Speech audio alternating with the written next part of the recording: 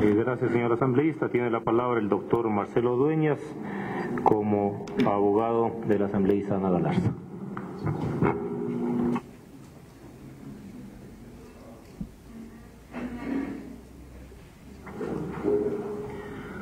Señor presidente de la Comisión Multipartidista, señoras asambleístas, integrantes de esta comisión, eh, señora asambleísta Ana Galarza, señoras asambleístas aquí presentes, solicité la palabra en estricto derecho y para cumplir una de las garantías básicas del debido proceso, que es que quien es procesado, investigado, tenga efectivamente la oportunidad no solamente de esgrimir en la teoría su punto de vista, sino de manera fundamental esgrimir en derecho, en derecho sus impugnaciones.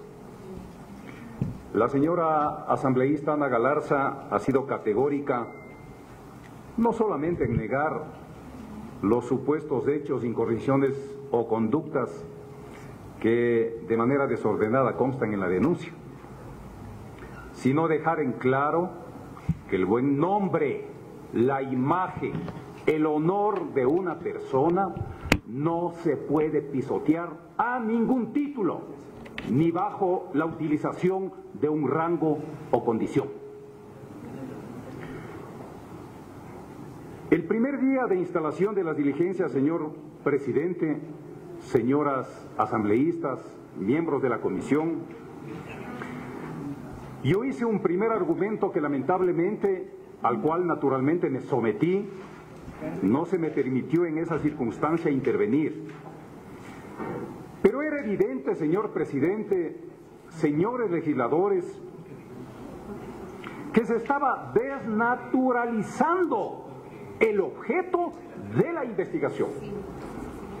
Esto es, que la denuncia juramentada, firmada por el señor asambleísta Ronnie Aliaga, se circunscribía de manera expresa, de manera puntual, sobre un hecho. Con la veña suya, señor presidente, dos líneas. En este sentido, dice el señor asambleísta denunciante, en este sentido, a criterio de este legislador, la actuación del asambleísta Ana Galarza Añasco podría enmarcarse posiblemente en la conducta descrita en el numeral tercero del artículo 163 de la Ley Orgánica de la Función Legislativa, que prohíbe a los asambleístas gestionar nombramientos de cargos públicos.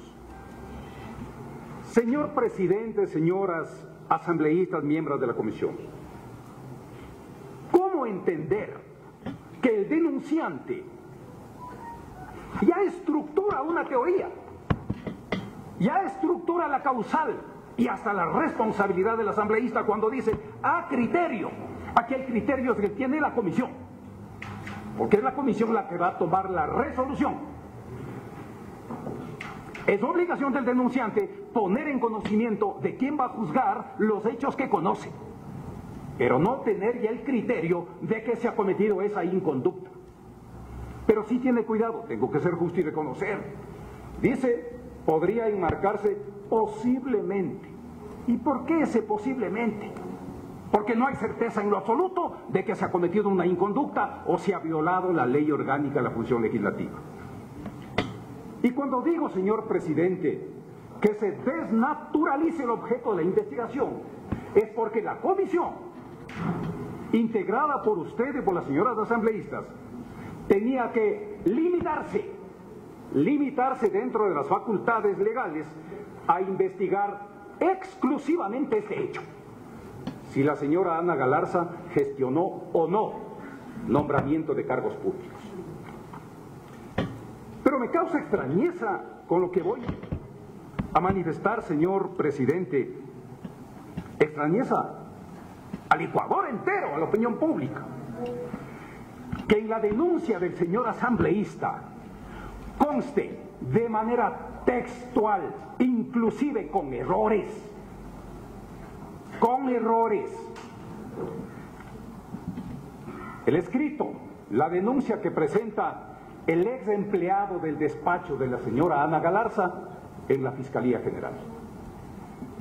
Y refiere el señor asambleísta Ronnie Aliaga, que transcribe todo y habla de unos videos que pidió en la primera intervención en esta comisión que se incorporen al proceso, eran unos videos parecidos a los que ya se ha pasado acá. La inquietud, señor presidente, ¿se cumplió con lo que le ordena la Constitución? ¿El señor denunciante cumplió con la obligación legal de respetar la norma constitucional prevista precisamente en las garantías básicas? Digámoslo de otra manera, en las garantías elementales del debido proceso. ¿Cómo obtuvo el video? ¿Qué autoridad hizo la extracción de la información? ¿Qué autoridad ordenó la transcripción, los contenidos? ¿Qué autoridad hizo la comparación de voces como para darle la calidad de prueba plena e incluir para que esta comisión investigue? La norma constitucional, señor presidente, señoras legisladoras, es absolutamente clara. ¿Cómo lo obtuvo el señor asambleísta Ronnie Aliaga este video? Al margen de la ley. La Constitución, señor presidente de la Comisión, en el numeral 4 del artículo 76 de la Constitución de la República, que impera sobre la voluntad, sobre el gusto o el disgusto de los ecuatorianos, claramente manifiesta las pruebas obtenidas o actuadas con violación de la Constitución a la ley no tendrán validez alguna y carecerán de eficacia probatoria. Aquí el señor asambleísta haga denunciante en la intervención, que en todo caso usted lo autorizó, somos muy respetuosos, combinó a la señora Ana Galarza a que punto por punto tiene que ir desvirtuando. Sí lo hizo. Pero no era la obligación, no es la obligación de investigado en este caso, venir a decir que es culpable. La obligación del denunciante es aportar con los elementos suficientes, incontrovertibles, debidamente probados, de que la señora Ana Galarza cometió esas inconductas. Y aquí no hizo absolutamente nada, a más de rendir su testimonio, que era una simple repetición del contenido de la denuncia. Aquí estuvimos atentos con los asesores que vinieron a declarar, asesores de la señora Ana Galarza. Pero nunca presentó un contrainterrogatorio, una inquietud, una consulta o una impugnación. En lo absoluto, aquí era el momento oportuno. Y señor presidente, estamos olvidando en el tema procedimental, que también aquí se aplica. El hecho, señor presidente, que la oportunidad de la prueba ya pasó. El derecho se llama precluyó el derecho del denunciante de seguir abundando en prueba porque ya ha venido la procesada, investigada a dar su declaración. Imbuida, enterada ya de la prueba. Muy tarde. Pero eso no es mucho lo que me preocupa y lo voy a hacer con todo respeto, señor presidente, a mi respetada asambleísta Amapola Naranjo, miembro de la comisión Mire lo grave que acabó de pasar al inicio de esta diligencia al pretender el cambio del orden civil. Obligación del juez, obligación del juez. Ser objetivo, ser objetivo y ser imparcial. Obligación del denunciante, aportar la prueba, sustentar, sostener la denuncia pero me he quedado extremadamente sorprendido de que la señora asambleísta Amapola Naranjo pretenda en esta audiencia, en esta diligencia, incorporar prueba asumiendo el rol de denunciante. Esto invalida su criterio. Esto invalida inclusive la presencia de la señora Amapola Naranjo en esta comisión. pretender suplantar la posición del denunciante para actuar prueba de cargo, prueba de cargo. Esa no es su obligación. Su obligación es analizar de manera objetiva e imparcial la prueba aportada por las partes y con un criterio justo, ponderado, emitir su resolución. Pero esa ha sido la situación que no ha prosperado, que no ha prosperado por decisión de la Comisión, de la mayoría de la Comisión. Listo, estoy listo. Sí, me deja en fondo de mi conciencia una gran preocupación ¿Qué tal amigos? Muy buenas noches. Bienvenidos a esta transmisión de la Comisión Multipartidista que investiga la denuncia en contra del asambleísta del movimiento Creo, Ana Galarza. En esta ocasión, la comisión ha recibido a la legisladora denunciada para que precisamente ejerza su derecho a la defensa y justifique su versión. En este momento, en el uso de la palabra, Marcelo Dueñas, abogado de la legisladora Ana Galarza dolida, dolida en el fondo por esta serie de patrañas presentadas por el ex empleado, pero recogidas íntegramente por un respetable asambleísta. Recogidas íntegramente por un respetable asambleísta que lo transcribe en la denuncia, pero no puede sustentar una sola de las inconductas presuntas. Sin embargo, se han evacuado diligencias, se han evacuado pruebas, inclusive que están fuera de la competencia de la comisión. Ha sido muy claro el denunciante, el señor asambleísta Romy Aliaga, que esto se está ventilando en la Fiscalía General. ¿Por qué tenemos que venir a dar el valor de prueba plena a una simple denuncia que tampoco tiene sustento? No podemos confundir, señor presidente, que la simple presentación de una denuncia en la fiscalía ya sea un, un INRI para el ecuatoriano, pues, ¿en dónde está el principio de la, inocencia, de la presunción de inocencia? Aquí también, al momento que el señor asambleísta Ronnie Aliaga sustentó la denuncia, o mejor, repetició el contenido de la denuncia, le decía pues al asambleísta ya prácticamente juzgándole, que ha tenido el dedo más sucio de aquello que estaba fiscalizando. No, aquí se ha tratado a toda costa de manchar un nombre, de acallar una voz fiscalizadora, naturalmente de una época nefasta, nefasta para el Ecuador, nefasta. Pero como yo no vengo a discutir de temas que también son apasionantes los políticos, sino estrictamente lo legal, señor presidente, señoras asambleístas, miembros de la comisión. Ha quedado absolutamente claro, primero, con la falta de prueba, que era obligación del denunciante hacerlo, para demostrar que tenía razón a acusar de una u otra cosa, pero fundamentalmente a acusar en esta comisión de que la señora Ana Galarza gestionó nombramiento de cargo público. No existe prueba de cargo. No existe un solo elemento que deje entrever que esa conducta se ha cometido y que la conducta de la señora Ana Galarza aplica a la causal de destitución. Ha quedado desvirtuado total y absolutamente, señor presidente, los siguientes hechos.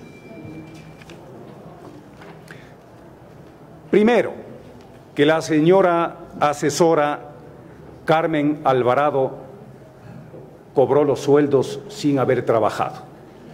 En las versiones de la señora Alvarado en, en el seno de esta misma comisión quedó absolutamente claro, inclusive sometida al contrainterrogatorio de la señora asambleísta Mapola Naranjo.